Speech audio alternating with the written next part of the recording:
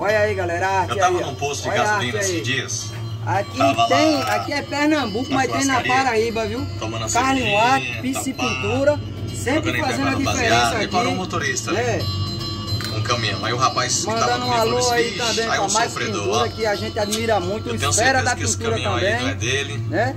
E, E ele é um sofredor, Um dia a gente chega lá também, galera. do caminhão. Tamo aí, Ei, novo aí Deus céu, no, pra- aí sofre na vida, viu? né, no- no- Quando ele acabou de fechar a boca, na, na área do grafite arrepiado. aí. O cara abriu Uma a roda da carroceria assim, ó. aí, Só pneu novo em cima da carroceria. E sempre só agradecendo só a assim, Deus, né? Troca esses pneus tudo aí, aí, acho meu que é 6 patrão. horas da noite aí, E daqui a pouco tá chegando ainda. meu outro Ainda caminhão tem outro caminhão ali, meu patrão.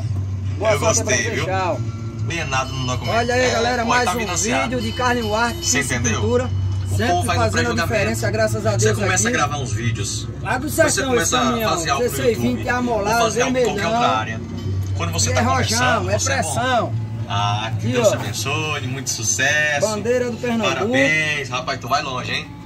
Mas quando você Cintazinha começa a se aqui, ó. Já no vernizinho, um bem no grauzinho e o verniz faz a diferença, viu? Aí, aí, Não é aí, pra aí, regar, não. Aí. Diretamente material bom. Léo Aí Pinto, de Goiânia, viu? Aí assim. Mostra aí. Não, mas ele vista o dinheiro que ele tá ganhando. E não acabando de esquecer, aqui em- na Paraíba, perto das fábricas, restaurante dos caminhoneiros, viu? É a melhor opção que tem aqui. Mocotózinho, feijoada, fava, e é isso aí. Você vai desgustar aquele almoço gostoso e delicioso, viu? Restaurante dos caminhoneiros.